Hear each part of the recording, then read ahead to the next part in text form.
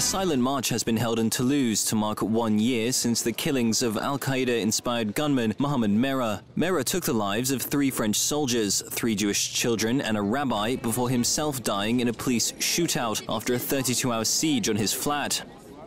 1,500 people of all faiths attended the memorial, including France's President Francois Hollande. Addressing the crowd, Hollande condemned anti-Semitism. He also promised that investigators were still working on the Merah case and were committed to finding out if the Algerian-born Frenchman worked alone or had accomplices. The president said, France, I can assure you, you will never be stopped, divided or separated. This is the meaning of your march today for freedom, for the Republic.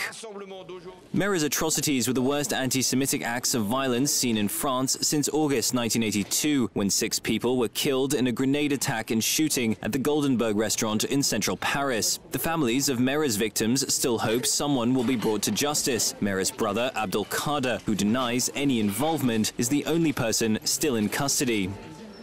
The Toulouse shootings also raised doubts over France's ability to combat terrorism. After Merah's death, it emerged that he was known by the French Interior Ministry to have traveled to Afghanistan and Pakistan and had at one time been under surveillance. Speaking at the memorial march, President Hollande vowed not to let up in the fight against terrorism, saying that in the wake of Merah's shootings, a law had been passed allowing the state to convict French nationals abroad on terror charges even if they had committed no crime on home soil.